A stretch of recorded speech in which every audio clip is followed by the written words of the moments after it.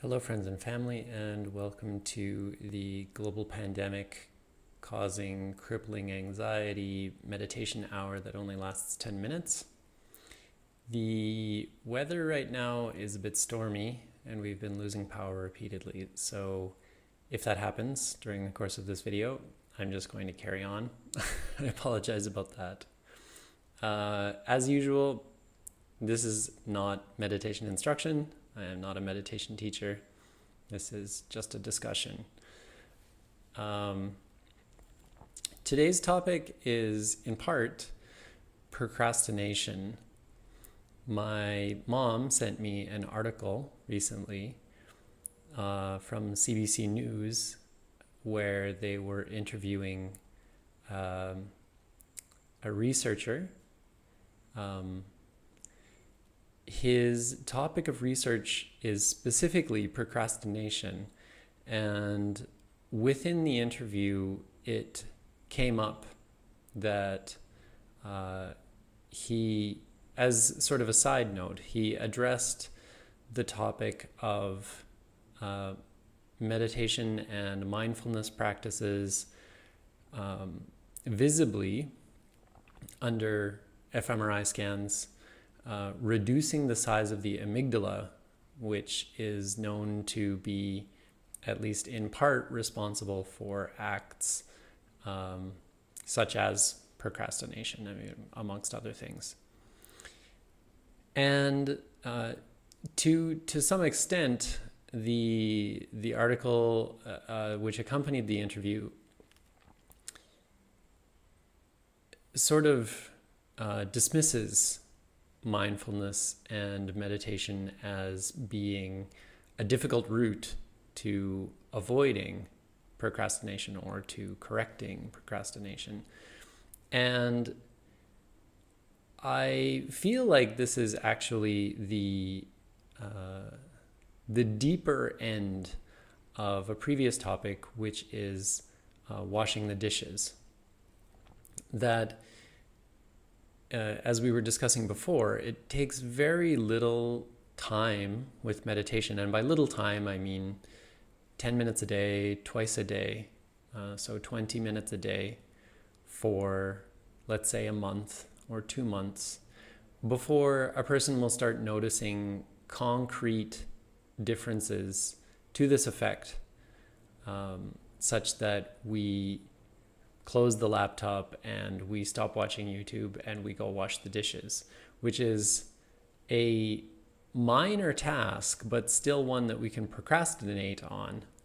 And the idea that meditation needs to reach these great heights of actually modifying the physical um, observable reality of our brain, externally observable reality of our brain, before we will see the consequences is um, it's a bit of an extreme position to take. And it's it's easier to be empirical about your own experience. You don't necessarily need a, a specific marker which says, "Oh, your amygdala has has shrunken by a certain percentage, and therefore you will be this much more effective in life or this much less a procrastinator. Um, and early on, I was discussing often um, the idea of comparing meditation to exercise. And I think that people tend to approach meditation with healthy skepticism, and that's good. But that that skepticism can really lean very heavily on scientific research. And in general, um, it's safe to say the the strongest researchers in the field will admit that scientific research on meditation um, is terrible at best. Um, uh, the uh, the best um, the best research I've seen, I have the book up there, but um, is from a book uh, entitled "Altered Traits," And the researchers um, who have come up with this book have done a meta analysis of most of the research available globally on meditation. And uh, have examined over 8,000 studies and found um, fewer than 100 really met their um, standards for uh, scientific rigor. Um, and there are a lot of difficulties, uh, some inherent and some simply due to lack of understanding uh, with respect to researching meditation. But the the idea that observe, externally observable realities are all we can go by for informing our decisions regarding whether we meditate or we don't meditate um, is a little bit harsh. So we don't exercise in that way. We don't say, oh, okay, show me thousands of Olympic grade athletes proving that running is a good idea, that riding a bicycle is a good idea, that going for a swim is a good idea before I'll do any of those activities. You know empirically, and uh, partly from the bias of having phys ed class our entire youth, um, but more so as an adult. We really we really notice this as an adult. As a kid, you're healthy pretty much no matter what. Um, but as an adult, you start to notice your body failing. You start to notice your joints hurting, your muscles aching, headaches happening, and exercise is um, is a small remedy for all of those things, which can be observed empirically. So if in my mid 20s or my mid 30s, my exercise routine, if I have one at all, dies off, and I pick it up later it becomes very clear from this comparison that the time I wasn't exercising to the time that I began exercising um, shows wildly different consequences, even if there are a lot of other variables in play. And the same is true for meditation. Uh, I mean, it. Um, it is the case that no one would tell you 10 minutes of exercise a day or 10 minutes twice a day of exercise is going to make remarkable differences for you. You have to invest some amount of time. Um, and and as it is with meditation, you need to invest a certain amount of time, but you can explore and find this empirical evidence for yourself in just 10 by 10 minutes a day um, with a simple breath awareness, Anapana meditation as an exercise. Um, and this, this pursuit of um, the elimination of what we consider negative qualities or negative behaviors, such as procrastination, um, can be a, a yardstick that we use for this empirical measurement. So we can say, oh, okay, let me examine what my life was like before I began meditating and see if there are any effects of the meditation itself. We shouldn't necessarily approach uh, meditation with the idea that we're going to solve any of these problems. That's not really what meditation is for, but um, it can be an interesting instrument for our own exploration when it comes to trying different meditation techniques and trying meditation out for ourselves to see if it's a worthwhile activity. With that in mind, uh, before the power goes out again, we can meditate for 10 minutes together. I have a 10 minute timer here. If you want to pause the video, you can and get your own timer. In particular, uh, SN Goenka's 10 minute guided um, Anapana meditation is helpful. Um, there's no harm in using a guided meditation, particularly one like that, which has a lot of um, silent periods within it so that you're not constantly augmented by an external aid. Uh, my 10 minute timer is ready and I will start it now.